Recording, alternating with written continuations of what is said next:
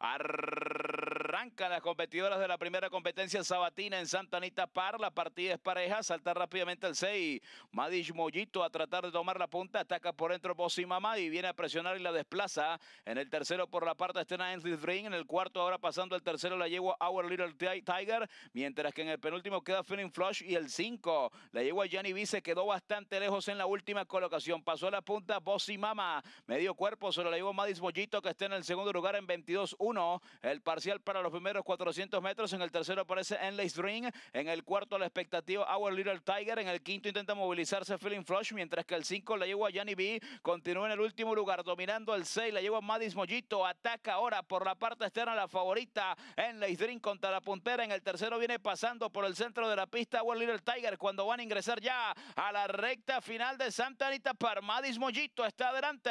Insiste por la parte central de la cancha. Endless Ring contra la puntera. Madis Mojito está en punta. Ventaja de dos cuerpos en el segundo Endless Ring.